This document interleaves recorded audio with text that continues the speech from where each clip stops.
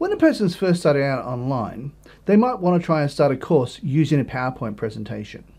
And oftentimes they only have one computer and no other monitor. So what we're going to be doing today is we're going to be talking about how to record a PowerPoint presentation and read the script in the same screen. Before we go ahead and do that, just want to let you know, here at Product Creation Formula, we love to give you tips and tricks to be able to help you create your products quickly and easily. Along with that, we also do product reviews as well as tips on how to make money online. So if that's the sort of thing that interests you, how about you smash the like button as well as subscribe and hit the bell icon so you can be notified whenever we upload more videos. Alright guys, let's go. Check it out. Now let's assume that you've started online and you've decided that you want to be able to create a course and you're only fairly new at all this and you don't really know what you're doing 100%. And what you need to do is you need to look at doing things like niche research and you do all that sort of stuff. You do your due diligence you do your niche research, you research to make sure that it's a popular topic, one that people will want to actually buy and see, one that people are interested in, and you know that it's something that that people want. You've gone into JVZoo, you've gone into ClickBank, you've gone into Udemy, you've gone into Skillshare, and you've seen people selling and buying these products. And you go, okay, I can create one around the same topic, but I want to do it as a presentation on PowerPoint. So what do I do? So he goes, they decide, okay, I'm going to create my PowerPoint slides. And they sit there and they create all their PowerPoint slides and they make it really lovely and making it looking really nice. And they've gone in on YouTube and they've seen all the various courses that they can do on how to make their PowerPoint look really pretty. They write their script, they get everything all ready, and all of a sudden they go, um, I only have one screen. What do I do? How am I supposed to do this? Am I supposed to print this paper up and then make sure I have it all in the right order? and then flip it over, try and hide the page turning sound. How do I do all this and still make it look good? Well, we've got you covered. Where we are right now is we're in PowerPoint, as you can see, and we are in one of my courses. Now, over here, this is called Monetization Made Easy, YouTube Monetization Made Easy, in fact. I might actually put that in there. There we go. That way it makes it, people know what it's about then. Okay, so put that up here. There we go. Now, what we need to do is you can then present this first page as you go. But what you need to do is you need to set up your PowerPoint slide first so as you can do this. Now, I know this works on PowerPoint 365, and I believe it can also be done as far back as PowerPoint 2016. So what you need to do is you need to go over here to the slideshow section and you click on that. And over here, you'll see it's got play narration, you got use timing, then you got show media, but over here is what you want to look for. Use presenter view.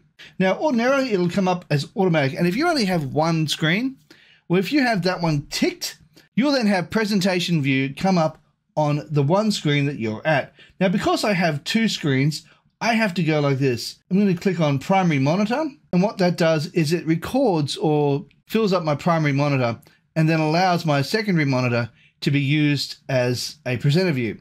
Now I'm doing that primarily because I want to show you what presenter view looks like. Now before we go any further, I want to also show you something else that you can do. Now over here, I'm going to go down to this slide just here. Now over here down the bottom, you'll see where it says notes. You click on that. And as you can see, an area just opened up for me. Now I'm going to open that up so you can see what's here. As you can see, I actually have notes that I've written right here. What we need to do is then pull that down so you can see what you're doing. And then you start your recording. Say, for example, you have Camtasia or you decide that you're going to capture a certain area on the screen. I would strongly suggest that you get a screen recorder that will be able to capture an area that you decide to set. Say, for example, from this corner to this corner here. Now, the reason why I say that is so as you can, in fact, have it work for you. Now, let's go on over here. I'm going to hit from current slide and you'll see what I'm talking about. I'm just going to go there. And in just a moment, you'll see the presenter view come up here. What you need to do is you need to be able to record from this area here down to this area here. Now, if I was to take this all the way back to the very beginning, go back over here, this is what I would come up with. No notes over here on the right hand side. As I scroll over, I would then introduce you. Welcome to the introduction of this course. Then you move over, and this is where you start to make the difference. You can read the first part. The whole premise of this video is to make money online on YouTube before you have ever reached YouTube's milestones. And then as you read through, you continue reading down. And then when you see this part here, you see how I've got that there a bit thicker? that is in fact bolded. You can't highlight it, but you can bolden it. And by having it boldened, you can then see this is where I now need to do it. So what you would do in this particular case is, so what are YouTube milestones? Simply put, to become accepted on the YouTube Partnership Program, you need to have, and then you go, and then you then click this area here, 1,000 subscribers and 4,000 watch hours in a single year. And then you can scroll up, continue reading, and make sure you just go under here. You don't cover this area here. You go under here, and you just constantly go backwards and forwards like this. And as you go through, you go and you read the area, and then you go over to your next screen. And you do all your, you you have it all come up really nicely. And then you do all that. It's as simple as that. And then once you've gone through your entire course, you can either do it where you have continued going through, you're covering your lesson one, and then once you've done your lesson one, or it's your introduction in this particular case, you can then turn it off or continue recording the video. Now, if you've made lots and lots of mistakes in the first part of recording, you might want to turn it off and then fix up your mistakes and then go ahead and record the next video. Or if you decide that this is that's just way too hard, what I want to do is I want to record it all in one sitting and then I want to edit it all in one go. That would probably be the better way of going. So let me show you what that's mean what I mean by that. Say for example you decided that you're going to go through and you put all your notes in these areas. You make sure that every section has all the right highlighted areas and so forth. And as you go through, you make sure it's all done properly. Now let me show you one where this one I'll do. Uh, let me go here. Okay, so upload link, uh, physical digital. Okay, so unique link just here. So got unique link there. So I've already got the first point just there. This is where I would then change the change the point where it's thicker and highlighted. And this is the next point, point in which I would do it. So now what you would also want to do is if you don't make too many mistakes, you can then go through as you get to this point here. You can pause at this particular video. Let me just bring that down for one second go here, go from current slide. And you know by looking at your screen that you have got this point here, you know that that's going to be the next one coming up because you can see what's coming up. And you've read through here and you get to this point down here and you go pause.